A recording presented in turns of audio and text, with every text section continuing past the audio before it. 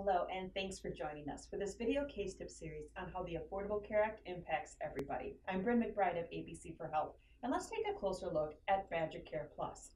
Wisconsin expanded Badger Care Plus to cover adults without dependent children, also called childless adults, that are below 100% of the federal poverty level. And this was implemented right after the passage of the Affordable Care Act, as a lot of states were expanding Medicaid even more so using federal money to do so.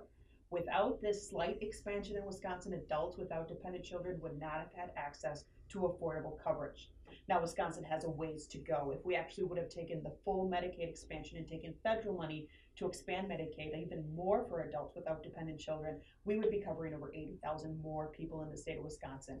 It was an impact that was felt when it was expanded a little.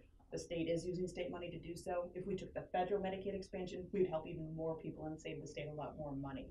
This was one of those things that happened right after the implementation of the very popular Affordable Care Act. Now, you might want to tell us your Affordable Care Act story. You can click on that information button and send us an email or visit our website at healthwatchwisconsin.org. Thanks for joining us.